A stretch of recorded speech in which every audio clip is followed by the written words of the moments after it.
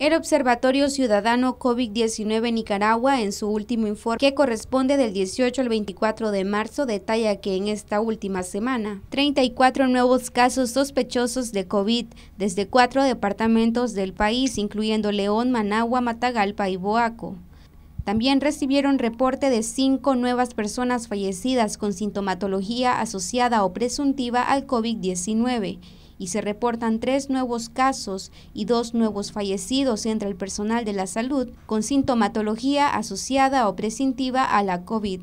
En el informe reiteraron que las fluctuaciones en el número de reportes recibidos, sean casos sospechosos o fallecimientos, reflejan la capacidad de las redes de recoger lo, que ocurre en los territorios. Hasta el momento, desde el observatorio no pueden confirmar que el virus ya fue controlado en el país. La evidencia de continuidad en el incremento de los casos y muertes dicen lo contrario. Además, en la víspera de la conmemoración de la Semana Santa, hicieron un llamado a la población a no bajar la guardia, a mantener las medidas de prevención y protección, como conservar la distancia física de dos metros respecto a otras personas, continuar con el lavado de mano con agua y jabón por lo menos durante 40 segundos, Higienizar las manos con alcohol al 70% durante 20 segundos. Utilizar la mascarilla de tela de tres capas y si es posible, careta facial protectora. Evitar las aglomeraciones y mantener ventilación sobre todo en lugares cerrados.